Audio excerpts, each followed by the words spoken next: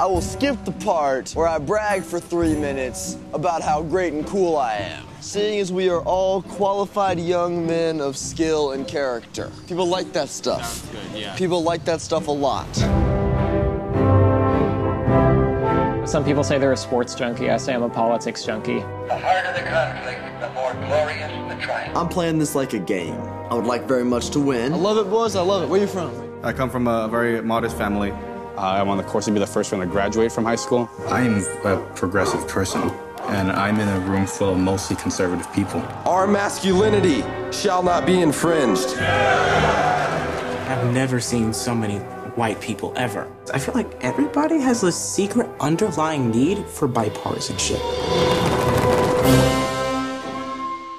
A message of unity, as good as it sounds, is not winning anyone any elections. Primary polls are now open. Get yourselves ready for a turbulent election. Whatever happens, dude, best of luck. You win, I support you fully. My name is Steven Garza, and I'm running for governor.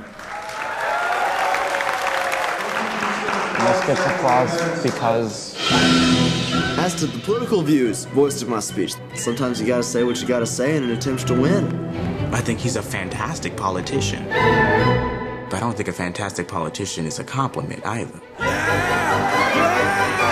we're gonna do shock and awe. It's gonna be awesome. I want y'all to take out your phones and go on Instagram. Everyone, come on. Oh my God.